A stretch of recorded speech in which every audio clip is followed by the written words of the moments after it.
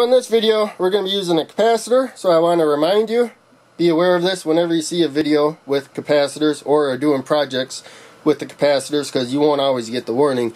But uh, you need to make sure it's discharged before you handle it or put it in the circuit. So I only use 9 volts across my capacitor, so I wasn't worried about uh, getting shocked. So I just picked up the capacitor and set the leads into uh, one rail of this breadboard to discharge it.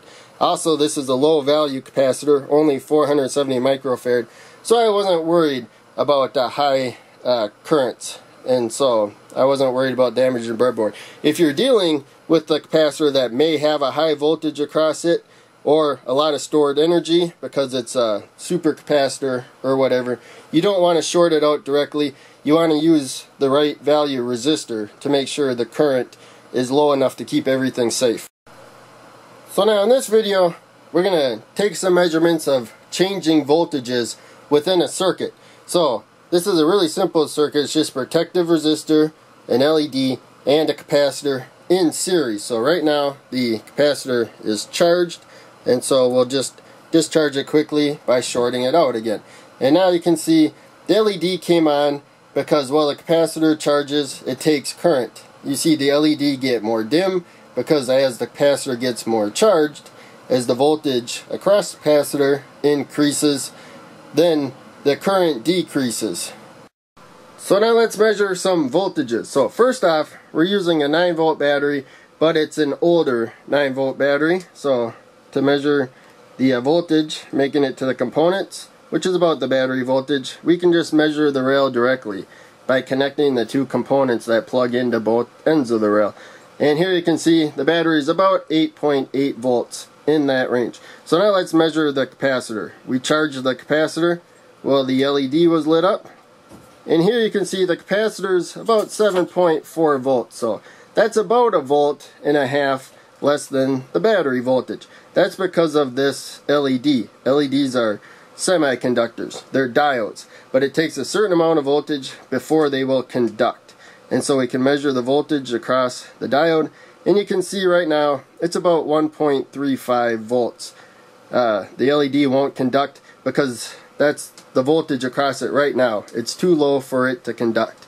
And with my measurements of these LEDs the uh, voltage that it blocks seems to go way down with low current as you see here about 1.35 there's hardly any flowing through other than the little bit that we're losing uh, due to leakage.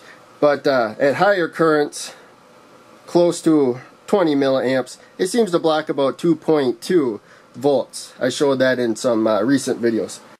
So now we're going to measure the voltages as they change. So to begin with, I want to mention this is a 4.7 kilo ohm resistor.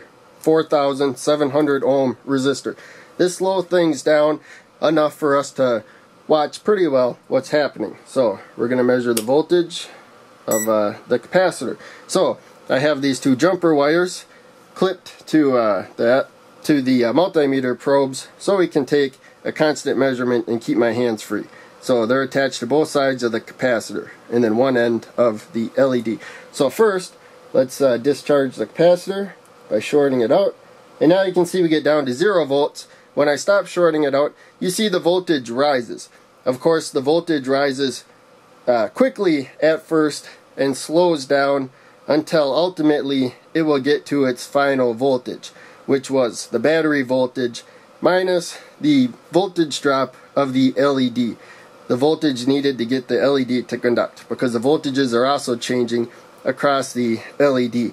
And now you can see the currents just trickling in because the voltage of the capacitor is close to the voltage of the battery minus the LED voltage drop.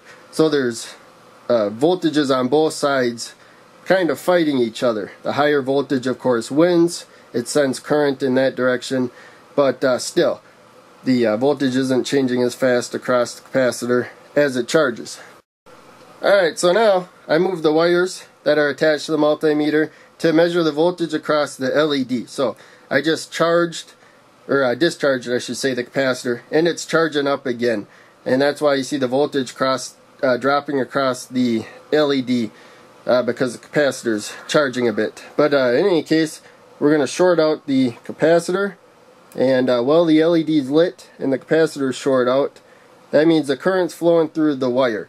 But now that I remove the wire the capacitor is charging and you see the LED is getting more dim as the capacitor gets full. But here you can see the voltage isn't really changing across the LED it's holding fairly steady there is some changes it's not blocking as much voltage as less currents flowing through it uh, but still you can see the voltage changes here. They do change a little bit in the LED based on the amount of current flowing through it. So now to end this video, let's look at the voltage across the resistor. That's the other main changing voltage. And uh, the capacitor is one of the main changing voltages, and the resistor is the other one. The voltage across the LED tends to hold pretty steady. So right now there's about 0 volts across the resistor.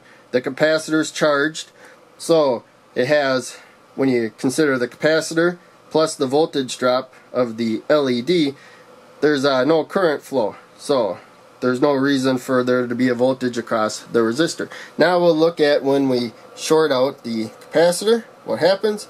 And you'll notice that while it's short out, we have about the battery voltage minus the drop of the LED. There we go and that's while the wire shorted out. The current's flowing through the wire instead of the capacitor.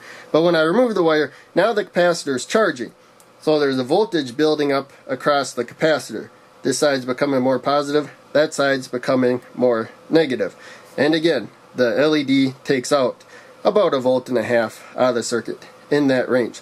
So as the voltage of the capacitor gets close to the voltage of the battery minus the LED drop, then the voltages on both sides of the resistor equal out and that's why we end up with zero volts across the resistor once the capacitor is fully charged.